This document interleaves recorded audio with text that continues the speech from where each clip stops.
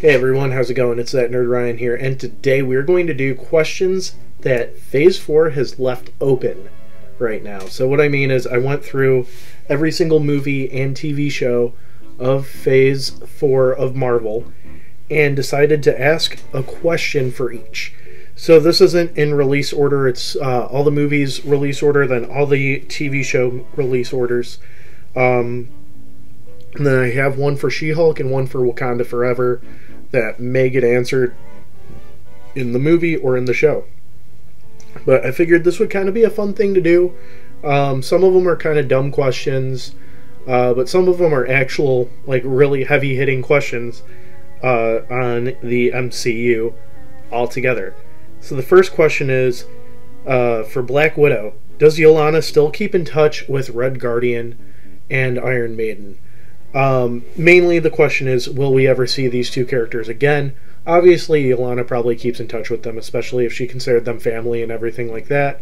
Um, I don't know if it's like to the extent of she lives with them or something like that, but mainly, I'm wondering if we will see these characters again or if they're going to kind of just be pushed under the Black Widow blanket. Um, I, if they do show up, I have a feeling it'll probably be in Secret Wars. I don't think it would be in Kang Dynasty, but if anything, it would be Secret War. Um, next, for Shang-Chi and the Legends of the Ten Rings, what are the Ten Rings? Is the question. Uh, they're obviously not Kree tech. They're um, a mystery to everybody right now. This one I feel will be answered down the line um, whether it be in Shang-Chi uh, solo films or in one of the Avengers movies itself. Uh, I'm betting on it's some type of Kang technology um, that he's going to be using to help fight the Avengers. So it's going to kind of be like a Mind Stone Vision sort of situation um, for him. Next is for Eternals. Uh, and this is the question that actually inspired this video is what happened to the giant statue in the middle of the ocean? Um, obviously, it's not a statue, it's a giant being, but uh, we haven't had any acknowledgement about that at all in the MCU, and I don't know if it's because Eternals uh, hasn't taken place. It, Eternals might be like the last thing uh, to take place in Phase 4, so maybe everything else we haven't seen yet, um, or hasn't seen it yet. But this is like a very major question to be asking because there's a lot of implications um, with stuff that happens in that movie that would be world changing. For example, the giant statue or the giant figure appearing in the sky over London.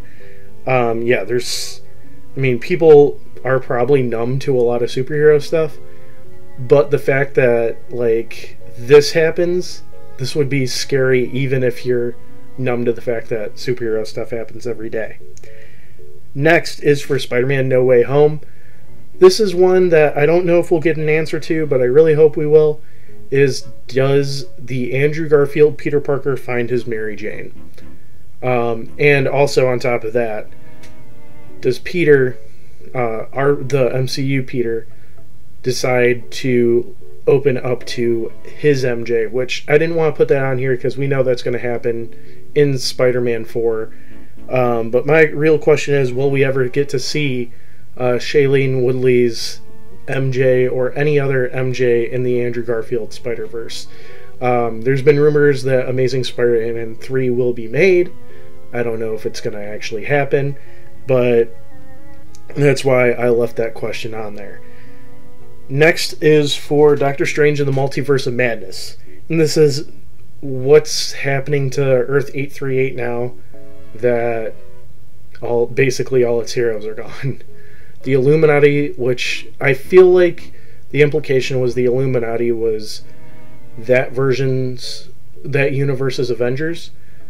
And now that they're basically all but gone, who's going to defend the world from let's say, a Kang threat or a Doctor Doom threat or something like that. Um, the Earth seemed very well off with the Illuminati. How fast will it fall apart now that all but one are dead? Next is for Thor Love and Thunder and who truly is love.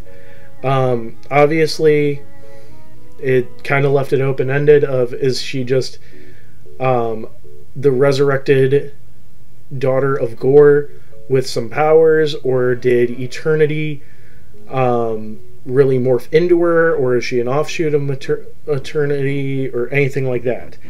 Um, I think that will be something that will be explored probably in uh, Secret Wars as well, or if there's a Thor 5, maybe Thor 5. Uh, but yeah, that's a very curious question. And my Wakanda Forever question is where has Atlantis been this whole time? The MCU has been around since 2008. The earliest MCU movie takes place, minus the beginning of Eternals, takes place in 1944 where has Atlantis been this whole time? I mean, I guess you could say the same for Wakanda, but Wakanda had an explanation. Atlantis may have an explanation, but still, it's like, where have they been this whole time? So, my question for uh, WandaVision, moving on to the TV shows, is Is Maria Rambeau still alive?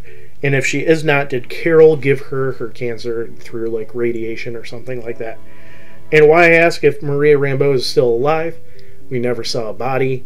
Uh, Monica wakes up uh, from the blip, not knowing, with nobody in the room or whatever.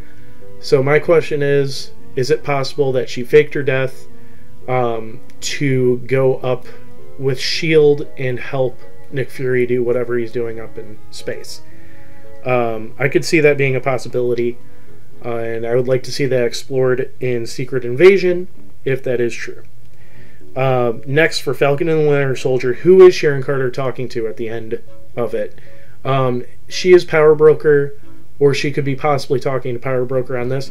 My money is she's talking to Val, um, or maybe even talking to like the Wrecking Crew or something where it's not like high level like Kang or something could also be possibly talking to MODOK since he is in Ant Man 3. I just remembered that.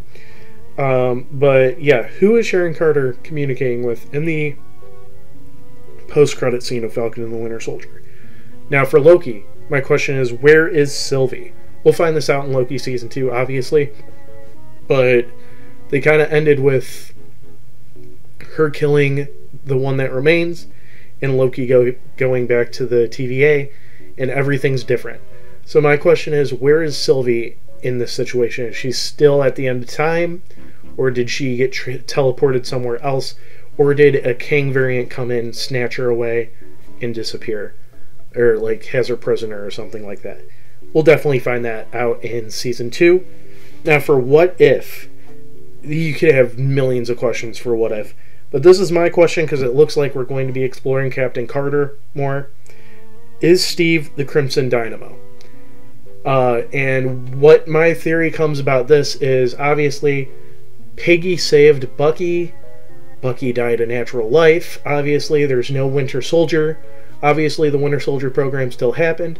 But Steve Rogers, um, they find his suit and everything like that, which was the Hydra Stomper. My question is do you think that the Hydra Stomper became the Crimson Dynamo? since that would be like the Russian vert, like how uh, Winter Soldier was originally a Russian character. Uh, do you think that Hydra Stomper became the Crimson Dynamo? So for Hawkeye, this one's an obvious question. I actually kind of want to change this on the fly because the original question was Is Kingpin alive? Yes, he is. He's going to be an Echo and Daredevil. So then my real question is did Clint Barton officially retire? Now that Katie Bishop is in the picture, Echo's in the picture, um, Clint really doesn't have the need to be out there besides being a mentor. So is he officially retired and Katie Bishop is officially Hawkeye? That kind of left open ended, so maybe we'll see um, if there's a Hawkeye season two or a Young Avengers or by the time of Kang Dynasty or something like that. Uh, the next one is for um, Moon Knight. Does Jacob Lockley have a different costume? We saw that with Steve and um, Mark. They both had different moon, variations of the Moon Knight costume. My question is Does Jacob just have the regular Moon Knight costume or does he have his own? We'll find out, obviously, in Moon Knight Season 2 or maybe even Blade or Midnight Sun, something along that. So for Ms. Marvel, the question is who else have we seen that is a mutant? I believe I made a theory video on this. You could check it out. Um, but yeah, with implying that Captain Marvel was a mutant the whole time, who else could have been a mutant that we've seen? And then finally for She Hulk, this was kind of a throwaway question because, as you guys know, it's being released right now. But is there a Red Hulk slash a Red She Hulk that we might run into in the future? Considering that this super soldier serum was passed on to Anton. Um, also, my other actual question for this that would be a more sensible question is: Well, is the leader? Uh, does the leader have something to do with all of this? He was set up all the way back in Incredible Hulk, and we haven't seen him since. So yeah, I hope you guys enjoyed the video. Tell me what you think of these questions down below. Make sure you leave a like, comment, subscribe, ring that bell, and follow me on all my social media down below. It's that nerd Ryan telling you, have an amazing day.